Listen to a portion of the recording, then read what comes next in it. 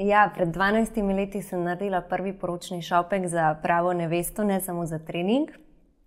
To je bila um, sestra moje prijateljice in še danes se spomnim, kakšen šopek je bil.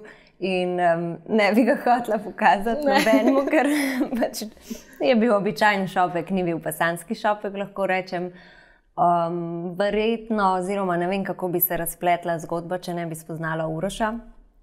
Ker jaz sem pač sanjala o tem, da bom enkrat nekoč imela cvetličarno, ki ne bo pač cvetličarno, kot jih poznamo, ker me je resnično zanimalo, zakaj se to nikamor ne premakne, oziroma zakaj poznamo cvetličarne že odkar sem s staro mamo hodila v cvetličarno do danes, so nekako iste, oziroma vse v istem stilu narejene, podobne izdelke izdelujejo, pač nekateri odstopajo malo gor dol.